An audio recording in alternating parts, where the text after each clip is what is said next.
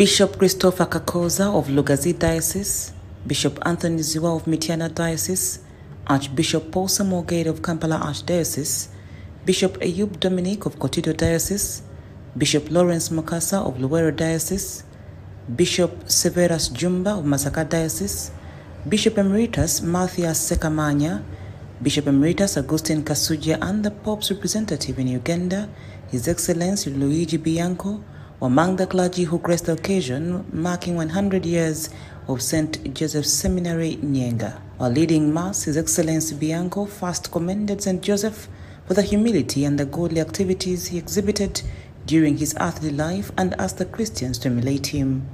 Bianco also asked the clergy to always be exemplary to the Christians they lead.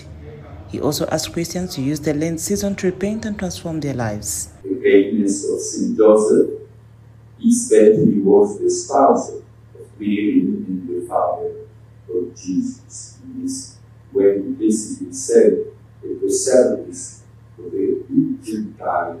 The Lugazi Diocesan Bishop Christopher Kakooza commended Father Eugene Safari, the rector of the Seminary for the Development and Sustainability. I want to thank the present rector.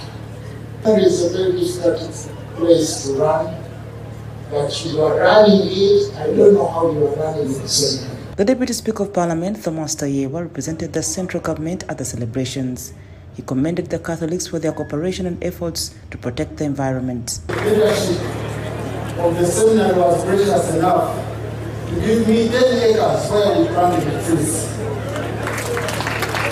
So came here with my family, they prepared a beautiful cake for me, the seminary and the Rotary fraternity. And we planted trees, 10 acres ourselves, doing it ourselves, civilly, in the ceremony. The old students of the seminary also commended the management and staff of the seminary for raising the flag of the seminary to greater heights. After Mass, the clergy, together with the Deputy Speaker, cut the cake and also commissioned the centennial building of the seminary. very good time. They looked at uh, they looked after us so well. They fed us well, and uh, the, the Europeans, the Mill Hill fathers, were very generous and uh, very considerate. Sometimes, if you had no fees, they would uh, take up the scholarships.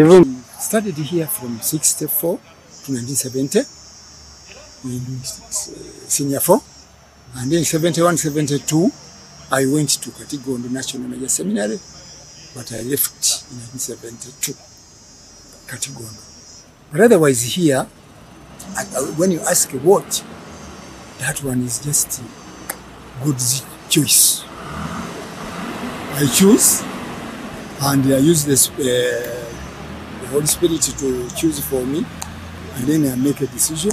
I found myself not what, but then I became uh,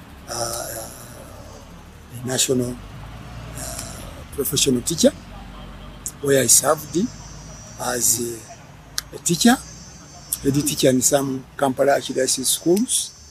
I served in UNEP for 25 years as an examiner, a team leader, and assistant chief examiner of paper 2 English. With a biblical mission, St. Joseph Seminary Nyenga is on a mission to create an environment that allows seminarians decide on their calling to a priestly life. The minor seminary in Buikwe district was founded by the Mill Hill Fathers in 1924. Report compiled by Emmanuel Balukusa for the news.